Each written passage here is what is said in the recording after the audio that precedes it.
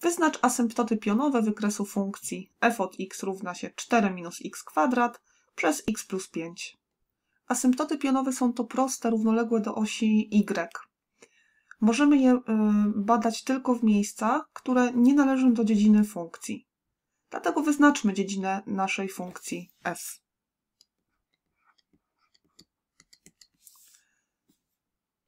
Zastanówmy się, jakie założenie musimy zrobić odnośnie funkcji f. Wiemy, że nie wolno nam dzielić przez 0, czyli to, co jest w mianowniku, nie może być zerem.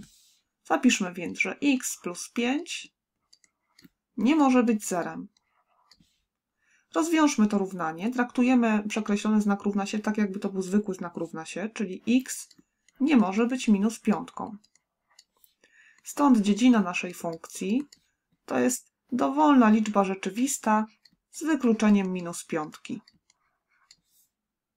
Teraz już wiemy, że jeżeli nasza funkcja posiada asymptoty pionowe, to będą, y, będzie to prosta o równaniu x równa się minus 5.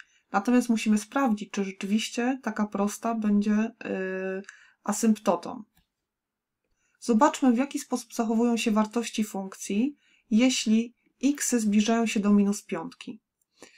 Y, asymptoty badamy z obu stron. Osobno badamy y, asymptotę lewo, y, lewostronną i asymptotę prawostronną. Czyli mamy limes przy x zmierzającym do minus piątki z lewej strony z naszej funkcji f od x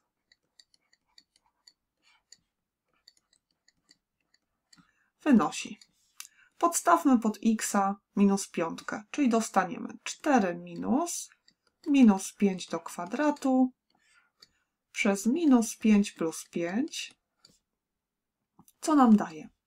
W liczniku mamy 4 minus minus 2, 5 y, do kwadratu to nam daje 25, a w mianowniku ma, ma, mamy 0 dostajemy w liczniku minus 21, w mianowniku 0. Czyli musimy całe to wyrażenie dać w kwadratowy nawias, ponieważ w mianowniku pojawiło nam się 0. Wiemy już, że będzie tu istniała granica niewłaściwa, plus lub minus nieskończoność. Aby określić, czy to jest plus czy minus nieskończoność, musimy określić, jakie mamy 0 w mianowniku. Czyli czy jeżeli z xami zbliżamy się do minus piątki, to wartości, y, poruszamy się po wartościach dodatnich czy ujemnych. Stąd też naszkicujemy wykres mianownika. Znajdźmy więc miejsce zerowe mianownika, czyli mamy x plus 5 wynosi 0, czyli x to jest minus piątka. Zaznaczmy na wykresie y, nasze miejsce zerowe. I teraz współczynnik kierunkowy tej prostej wynosi 1, czyli jest dodatni. Stąd wnioskujemy, że jest to funkcja rosnąca.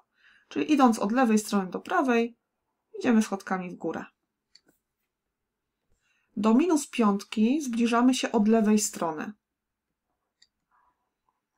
Idziemy po wartościach i widzimy, że idziemy po wartościach ujemnych. Stąd też 0 w mianowniku jest zerem z minusem.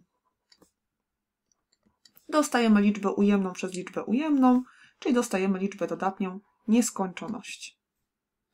Stąd widzimy, że idąc xami do minus piątki od lewej strony, wartości funkcji uciekają nam do nieskończoności, czyli istnieje asymptota lewostronna. Zbadajmy jeszcze, czy istnieje, y, y, czy istnieje asymptota prawostronna, czyli badamy granicę przy x zmierzającym do minus piątki z prawej strony. Funkcję przepiszmy.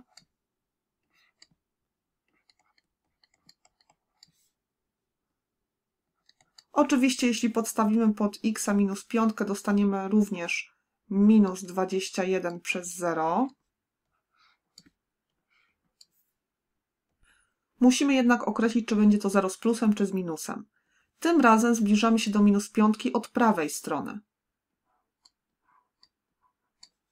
Czyli wartości, po których poruszamy się, są dodatnie. Stąd w mianowniku mamy 0 z plusem. Mamy więc liczbę ujemną przez liczbę dodatnią, co nam daje minus nieskończoność. Widzimy więc, że jeśli e, zbliżamy się z x'ami e, do minus piątki od prawej strony, wartości funkcji uciekają nam do minus nieskończoności. Zapiszmy jeszcze równanie asymptoty pionowej obustronnej